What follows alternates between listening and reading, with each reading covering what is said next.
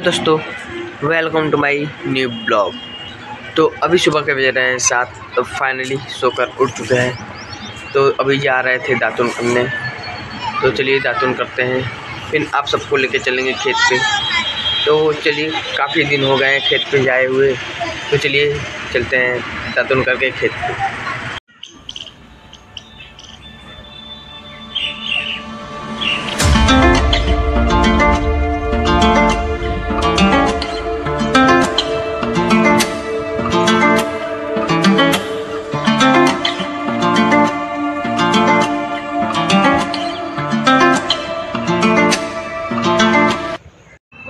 तो फाइनली दोस्तों आप लोग यहाँ पे देख ही सकते हैं कि मस्त सूर्योदय भी हो चुका है। अभी फाइनली खेत पे आ चुका हूँ और आप लोग हमारे पीछे देख ही सकते हैं। काफ़ी मस्त नज़ारा है इस समय का। अभी सुबह सुबह ही आए हैं खेत पे। तो चलिए आपको लेके चलते हैं खेत में। थोड़ा दिखाते हैं। दोस्तों हम आ चुके हैं अपने दूसरे वाले खेत और यहाँ पे हम खा रहे हैं ईख। तो चलिए खाते हैं, फिर मिलते हैं। तो दोस्तों, गाँव में रहने की सबसे बड़ी फ़ायदा ये है कि आपको यहाँ पे खाने को सब चीज़ें ताज़ा ताज़ा मिलेंगी।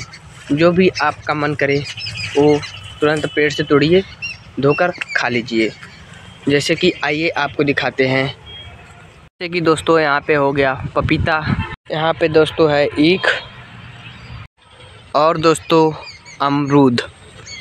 तो दोस्तों, हमारे खेत में आप लोग देख सकते हैं। केले का भी पेड़ लगा हुआ है और आप लोग देख सकते हैं। यहाँ पे केला फरा हुआ है, जो कि अभी कपड़े से बांधा हुआ है, कि कोई नुकसान ना पहुँचाए। तो दोस्तों, गाँव में रहने के यही सब फ़ायदे हैं और आप लोग यहाँ हमारे पीछे देख ही सकते हैं। यहाँ नीम के पेड़ पे ये बहुत सारे जाले लगे हुए हैं, पर ये जाले नहीं, ये है गिलोय, जो कि हमारे यहाँ यह लगा हुआ है। और ये सब हम गाँव में नेचुरल चीज़ें खाते हैं, जो कि सेहत के लिए बहुत ही फ़ायदेमंद होते हैं। और दोस्तों, आप लोग यहाँ पे हमारे पीछे देख सकते हैं, ये फूल काफ़ी मस्त लग रहे हैं और देखने में काफ़ी अच्छे लग रहे हैं। तो आइए इसे पास से दिखाते हैं।